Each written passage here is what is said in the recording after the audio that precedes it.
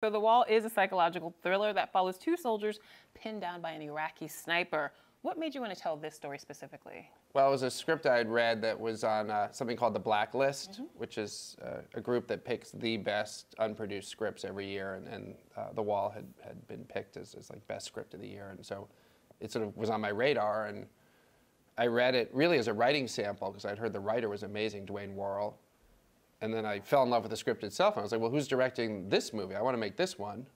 And there was no director attached to it. And that was sort of the origin of, of my involvement with it. But it started with a, a, just a writer. Uh, Dwain won this contest that Amazon was holding for like, you know, best, you know, screenplay of the year. And he was living in China at the time and okay.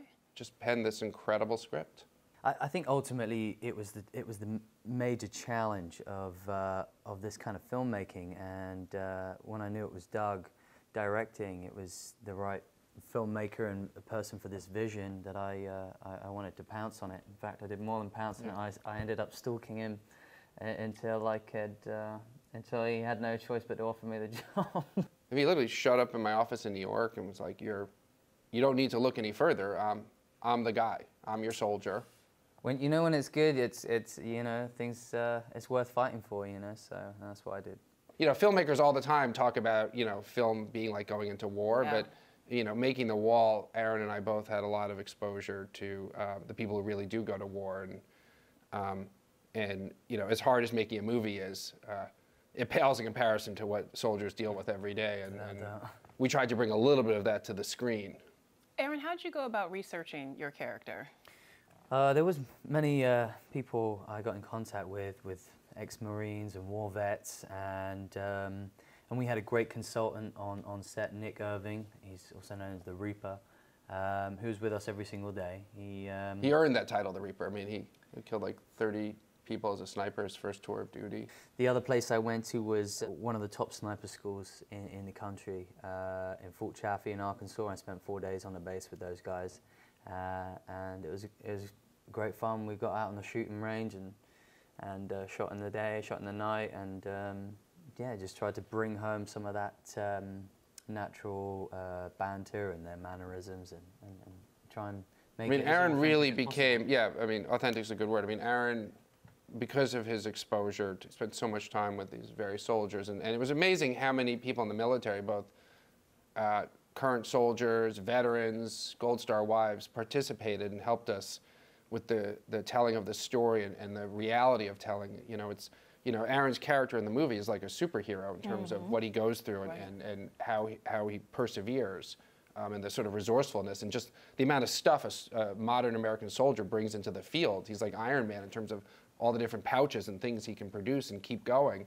But, you know, that's based on, on real soldiers and what, what real soldiers go through. And, and you know, we, we think of the military as, as really having partnered with us in making of this film.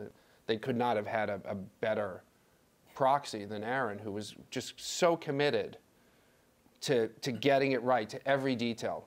Like the, the crotch of his pants in the movie has its own story. Mm, you hear a lot of stories from the military guys, and uh, what agitated them or frustrated them about certain movies is that they never got the detail right about their costumes, and you know this patch in the wrong place, this, you know, for for example, the pants, the crutch would always blow out. You know, these, you know, so most of the time, you know, they've they've got patches all over the place. But to be honest, the first day of shooting, the the the crotch blew out, and uh, the costume person wanted to stitch it up. And he said, you know, you can't. You just got to Gotta leave it. Really quickly, working with WWE star John Cena, what was that like for you, Aaron? He's a fantastic guy and got a brilliant work ethic, um, very professional, and mm -hmm. um, I mean, we had him all of four days, I think, uh, and he'd be flying from Chicago or flying in from Tokyo at early hours of the hosting morning. the ESPYS at the same time, and wow. I've never met someone who who works as uh, full on and as hard as him, and. Um, yeah, you're great. Doug,